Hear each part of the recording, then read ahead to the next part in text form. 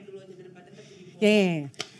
Oke. Oke, yuk kita mulai lagi ya. Tiga, dua, satu. Guys, aku baru nonton satu film yang ada di Netflix yang baru keluar tanggal mm, 22 November kemarin dan film ini di dalamnya ada subliminal message yang mana kalian itu harus hati-hati dengan film yang seperti ini. Kenapa aku pengen kalian nonton? Intinya adalah aku akan spill di sini, oke? Aku Barbara Siudi Kuning dari Hello Yellow R66. Kita mulai dengan Leave the World Behind. Jadi film ini kalau kalian lihat sendiri, ini akan ada gambarnya gitu ya. Ini yang main itu Julia Roberts guys sama Ethan Hawke. Itu adalah dua orang yang menurut gua ini pemain jadul yang luar biasa gitu kan. Mereka keren banget. Tapi kalian harus tahu siapa produsernya. Selain Julia Roberts karena di situ yang disebut di mana-mana itu adalah Julia Roberts, tapi ada Higher Ground Production di situ. Tahu nggak siapa yang punya? Obama. Michelle Obama dan Barack Obama. Nah, kalau misalnya kalian dari awal ngelihat film ini gitu ya, kayak aku di awal gitu, ini film apa sih? Kenapa tiba-tiba ada ini, ada itu, ada ini, ada itu nggak jelas gitu. Terus terakhirnya juga nggak jelas. Banyak sekali konten kreator yang ngepost tentang film ini dan bilang, ini tuh film apa gitu loh. Tapi aku bisa menemukan ada subliminal message di sini. Kalian pasti tahu subliminal message itu apa? Yang mana message yang disampaikan kepada orang-orang yang fungsi dan tujuannya itu mempengaruhi seseorang. Oke, okay? secara tidak sadar, jadi di alam bawah sadar. Jadi kalau misalnya kalau kita lagi nonton film, terus kita ngelihat dalam kondisi kita agak ngantuk gitu, terus kita ngelihat ada gambar, ada gambar, ada gambar, itu yang menyebabkan kita tuh kayak tiba-tiba berpikir ini tuh gambar apa sih, gitu kan? Tapi kita terusin aja filmnya. Nah itu tanpa kita sadari kita mengarah ke gambar tersebut gitu loh tanpa kita sadari. Karena gambar itu ada terus menerus dan berulang-ulang. Ini tuh spoiler jadi buat kalian yang belum nonton kalian nonton dulu baru kalian balik lagi kemari oke? Okay? di saat uh, scene di awal kalian bisa lihat kalau Julia Roberts itu masuk ke dalam terus dia ngelihat ada satu lukisan. Lukisan itu kalian mau tahu lukisan apa? Itu adalah lukisan yang isinya mata semua guys. The one eye who see it all ya kan? Kalian tahu kan, mata itu ada di mata uang Amerika, mata itu ada di mana-mana, mata itu pun ada di kitab-kitab. Banyak yang bilang kalau itu adalah dajjal dan yang lain-lain. Oke, okay? itu yang pertama. Yang kedua, kalian harus tahu kalau uh, ada satu scene di kamar tidur yang mana backgroundnya itu kelihatan kayak wallpaper, tapi bukan wallpaper itu kayak lukisan. Di awal film di saat kalian lihat itu tuh kelihatan kayak wallpaper biasa. Tapi ternyata wallpapernya berubah guys. Ada satu scene di kamar yang sama di hari berikutnya. Ternyata ada wave tapi wave-nya itu lebih tinggi. Dan yang terakhir wave-nya itu tambah tinggi. Apa artinya itu? Ya aku juga sebenarnya nggak tahu itu artinya apa. Tapi menurut aku itu adalah subliminal message. Ya, yang kita harus aware. Karena banyak sekali film-film dari Hollywood yang tujuannya ya memang itu jadi kemudian uh, Julia Roberts ini karakternya namanya Amanda. Amanda ini punya dua anak, Archie sama Rosie. Nah Archie ini tuh orangnya kelihatannya nggak terlalu peduli gitu loh sama lingkungan. Dia tuh orangnya nggak aware, nggak peka gitu kan. Sedangkan Rosie ini orangnya se-aware itu. Dia setiap kali ngeliat apa kayak, ih ini apa nih? Ini apa nih? Gitu. Yang yang perlu di highlight itu sebenarnya baju yang mereka pakai. Oke, okay? 20 menit pertama kalian bisa lihat kalau Rosie dan Archie ini berjalan berdampingan dengan baju yang kalau misalnya kalian baca bisa kelihatan tulisannya apa. Ada OB, ada NASA. Oke? Okay? Jadi maksudnya apa? OB NASA atau apa? Gitu ya. Terus kalau misalnya gambar dari bajunya Archie itu kalian balik, kalian juga bisa lihat kalau kalau gue sih ngelihatnya itu kayak gambar mata satu itu loh guys. The one eye who sees it all. Di saat semua orang bingung ini film tentang apa, mungkin ada konten kreator atau mungkin banyak orang-orang yang kayak gue ulang lagi deh nih filmnya gitu tentang apa tanpa kita sadari kita itu diprogram kalian harus tahu ini mungkin konspirasi teori tapi kalau kita bicara Obama Obama itu udah punya banyak red flags gitu kan. Banyak sekali foto-foto dia yang beredar di luar sana yang mana kalau kalian lihat aku sempat ngelihat beberapa foto dia bersama dengan anak kecil gitu yang usianya itu di bawah 12 tahun naik speedboat gitu kan. Dan anak-anak ini tuh skin colornya itu mereka adalah anak-anak China ya. Jadi Obama itu menurut aku adalah part of them. Dan siapa ya? Si elit global itu atau apa pun itu. Kenapa film ini bisa se-hype itu gitu? Karena Netflix mempromosikannya luar biasa. Di saat kalian buka Netflix, itu yang nomor satu paling depan itu adalah itu. Dan orang bertanya-tanya ini film tentang apa? Orang tuh kayak ke, kepengen gue tuh pengen pinter gitu gue pengen tahu ini maksudnya apa sih gitu. Sama seperti Inception gitu mungkin ya. Orang penasaran ini tuh maksudnya apa? gitu. Nah subliminal message yang ada di film-film ini yang menurut aku sangat-sangat berbahaya gitu. Kan kenapa? Karena ada satu scene lagi yang aku mau cerita ke kalian yang mana scene itu ada penebaran uh, pamflet ini aku bisa bilang ini propaganda. Kenapa? Ada yang menebar pamflet dan pamflet itu jelas-jelas tertulis dalam bahasa Arab, guys. Kalian tahu kan, dari tahun 2000-an gitu, kita itu melihat berita di luar sana dan kalau kita ngeliat orang Arab pun kita kayak takut, aduh ini mohon maaf teroris bukan gitu kan. Kenapa? Karena kejadian 9/11. Dan ini yang terjadi di film ini. Ada pamflet itu dan di situ tertulis di halaman depannya itu Archie itu bicara dan Archie bilang katanya, "Oh, ini gue tahu nih halaman depannya ini artinya death to Amerika." Jadi maksudnya apa? Ada yang mau nyerang Amerika gitu. Jadi banyak sekali yang menurut aku message di sini yang kalian tuh harus lihat. Satu lagi, ada satu map jadi kan film ini menceritakan tentang uh, blackout. Blackout itu berarti ya internet blackout, terus eh, nggak uh, ada listrik juga dan lain-lain gitu kan. Terus ada siaran televisi yang mana itu menunjukkan map atau peta di mana seluruh benua Amerika itu terkena blackout gitu. Pas aku ngeliat gitu aku ngeliat kayak ini apa ya yang di ujung. Kayak ada sesuatu yang beda gitu. Ternyata pas aku zoom, aku foto dan aku zoom itu ternyata ada QR code di situ buat apa ada QR code di situ?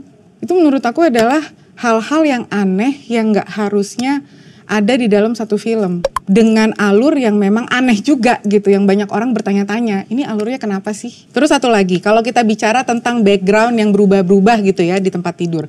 Nggak cuman di kamar tidurnya si Amanda aja tapi di ruang makan Amanda yang connected sama ruang tamunya dia itu ada lukisan. Lukisan itu di awal film itu bentuknya seperti itu. Kemudian setelah itu bentuknya seperti ini dan bentuknya itu tuh bentuk abstrak guys. Ini adalah salah satu contoh subliminal message itu disampaikan dengan sesuatu yang bentuknya tuh abstrak. Jadi kita nggak tahu itu apa. Kayak bikin kita jadi ngantuk gitu loh. Dan nggak cuma di situ, di samping ada foto juga gitu bukan foto ya kayak lukisan gitu yang bentuknya juga sama-sama abstrak kan aneh.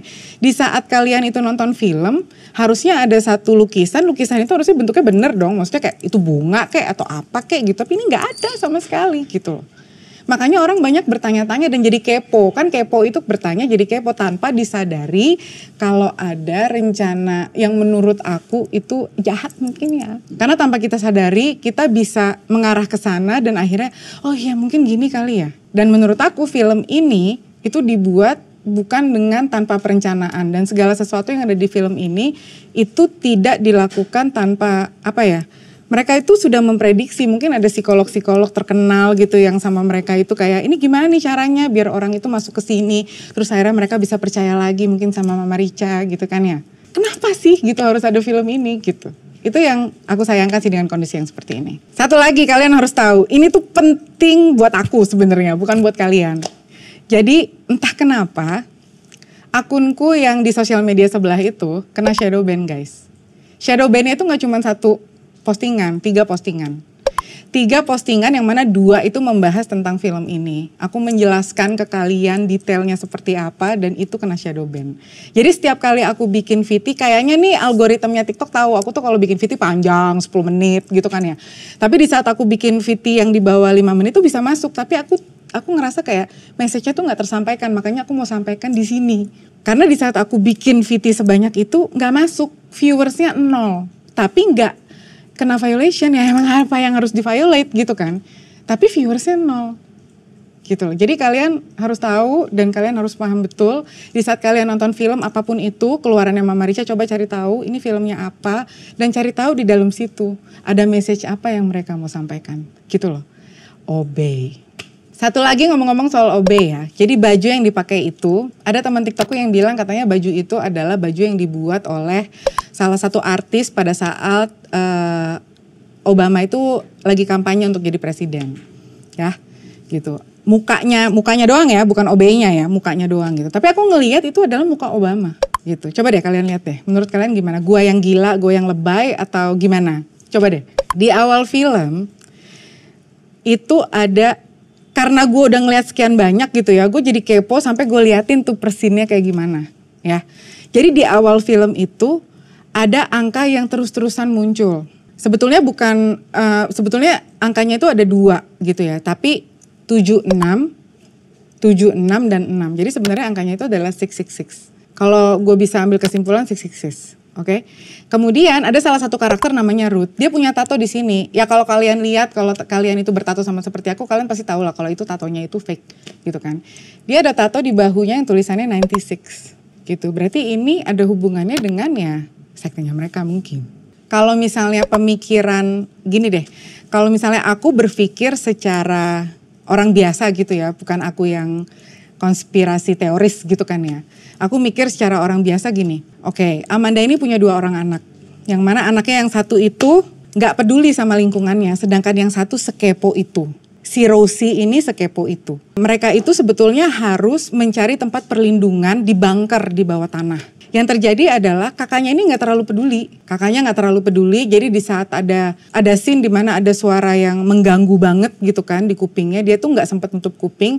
Mungkin itu yang menyebabkan satu hari kemudian giginya tuh copot semua gitu. Itu nggak tahu tuh kenapa tuh. Dan itu tidak dijelaskan juga di film dan kayaknya gue nggak perlu tahu juga gitu kan.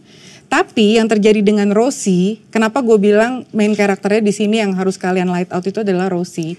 Rosie itu adalah cerminan orang-orang yang ada sekarang di dunia pada saat ini. Dia itu nggak peduli guys. She don't care about nothing about dia dia nggak peduli dengan siapa pun kecuali dirinya sendiri. Yang terjadi adalah di saat mereka tahu semua kalau ini ada bunker, tapi bunkernya di mana? Rosie itu bisa ketemu bunkernya ada di mana. Dan yang lebih parahnya lagi adalah di saat mereka itu nggak punya makanan, Rosie itu di saat mencari bunker tersebut, di saat dia masuk ke satu rumah yang dengan nggak sengaja, dia ngelihat ada makanan sebanyak itu dan dia makan di situ dia makan makanan yang ada di situ tanpa memikirkan, aduh ini nyokap gue gimana, ini kakak gue gimana, ini bapak gue gimana, dia nggak peduli dia makan aja udah di situ. Jadi dia hanya peduli pada dirinya sendiri. Itu sih yang terjadi dengan masyarakat kita sekarang ini kayaknya cuma peduli sama diri kita sendiri gitu kan. Ada satu yang mau gue angkat juga tentang Rosie karena dia segitu investednya sama serial Friends dari awal film itu sebenarnya udah diceritakan karena Rosie ini tuh kayak nggak peduli, gue nggak peduli blackout, gue nggak peduli ada pesawat jatuh, gue nggak peduli ada apa-apa. Yang penting buat gue itu adalah gue mau nonton, ya kan, episode terakhir dari season terakhir serial Friends. Bisa bayangin nggak orang lagi ribet terus dia mikirin itu? Dan gue berusaha untuk cari tahu ini maksudnya apa sih kenapa ini tuh diangkat terus gitu loh. Julia Roberts itu kelahiran tanggal 28 Oktober tahun 1967. Matthew Perry yang jadi Chandler di Friends itu meninggal tanggal 28 Oktober tahun 2023. Jadi tanggalnya itu kok bisa sama. Dan kalau kalian lihat di sosial media banyak sekali orang-orang yang kayak ini tuh Matthew Perry kenapa sih? Kok dia bisa tenggelam? Jadi baru kemarin banget nih guys jadi baru kemarin itu akhirnya ada surat laporan polisi yang menyatakan kalau Matthew Perry itu meninggal karena accidental drowning. Jadi dia meninggal itu karena ya tenggelam, bukan karena ada yang bunuh atau apa pun itu gitu loh. Tapi menurut gue ada sesuatu di balik ini. Apa sesuatunya? Kalau menurut gue ini tuh nggak mungkin. Kenapa bisa Julia Roberts? Kenapa dia harus dia bintangnya? Kan banyak yang lain. Ada Reese Witherspoon, intinya menurut gue ada ada pesan mungkin yang ingin disampaikan sama Julia Roberts gitu kan. Kalau mungkin Matthew Perry ini tahu sesuatu atau mungkin dia itu nggak mau ke sana dia kayak nggak gue kayaknya udah nggak mau deh ikutan sama sekte itu gitu ya. Ini bukan sekte agama ya nggak ada hubungannya sama apa, agama jangan ngomongin agama sama sekali nggak ada hubungannya. Ini adalah sekte yang menguasai seluruh dunia. Gitu loh guys jadi dia mau mungkin mau ngasih tahu kalau ya ini Matthew Perry kok bisa meninggalnya tanggalnya itu sama gitu. Tapi kan gua konspirasi teoris ini gitu kan bisa menarik-narik kesimpulan dari situ. Kok bisa gitu loh si Rosie ini terinvested sama serial Friends. Kan ada serial yang lain. Kenapa harus Friends? Kenapa harus Friends gitu loh. Banyak kok yang lain. How to Meet Your Mother atau yang mana gitu yang lain banyak. Kenapa harus Friends dengan kondisi Matthew Perry itu dari tanggal 28 Oktober baru di Desember ini dia dinyatakan meninggal itu karena accidental drowning. Kenapa gitu? Jadi itu adalah sesuatu yang harus dipertanyakan kalau menurut gue. Kalian ingat film White Noise? Jadi film White Noise itu adalah film yang menceritakan tentang kecelakaan kereta api yang mana keretanya itu di rel atau keluar jalur gitu ya guys ya yang membawa bahan-bahan kimia. Itu film dibuat tahun 2022. Kalian tahu apa yang terjadi? Tahun 2023 itu terjadi di East Palestine dan berdasarkan info dan berita da, tanggal 4 Agustus kemarin gue udah baca beritanya tidak ada setetes air pun yang tidak terkontami, terkontaminasi di sana itu sampai gue gue sampai belibet gitu kan dan mereka tuh nggak bisa konsumsi air lagi dari situ jadi mereka tuh harus konsumsi air dari kemasan sama seperti kita yang di sini gitu loh kita harus konsumsi air dari kemasan kalau kalian tanya kenapa sih orang Indonesia harus konsumsi air dari kemasan? Karena kita tinggal di negara kepulauan guys. Air kita tuh terkontaminasi dengan air laut. Simpelnya gitu aja deh kalau aku bisa ngomong. Tapi di sana kan enggak. Itu terkontaminasi dan itu tidak akan bisa diminum lagi. Tap water itu buat mereka itu nggak akan bisa diminum lagi. Itu white noise itu adalah film Netflix yang keluar tahun 2022 dan terjadi tahun 2023. Dan orang banyak bilang enggak ini konspirasi teori. Aku nggak aku berharap ini tidak terjadi ya. Tapi film ini Leave the World Behind itu menurut aku kalau sampai terjadi di masa depan nanti kalian harus mark satu spot di sini. Jadi ada satu peta yang mana itu dilihat sama Archie dan peta itu sebenarnya ceweknya dia tuh ngirimin kayak uh, ini location gue ya di sini nanti kalau lo mau datang lo datang aja ke tempat gue karena mereka tuh nginepnya tuh di The Hamptons ya mereka nginep di The Hamptons yang mana itu lokasinya cuma jaraknya mungkin sekitar satu jam satu setengah jam dari New York. Jadi Archie ini tuh lagi nongkrong di satu pantai. Dia lagi nongkrong sama keluarganya lah gitu ya sunbathing gitu. Tiba-tiba adiknya si Rose ini bilang itu kayaknya ada kapal deh mendekat. Ternyata ada kapal gede banget gitu kayak kapal yang buat bawa kontainer itu nabrak pesisir pantai. Namanya White Lion guys. Kalian mau tahu apa? Ada satu kapal namanya White Lion di tahun 1619 itu mendarat di Hamptons yang mana mereka itu membawa budak budak-budak dari Afrika.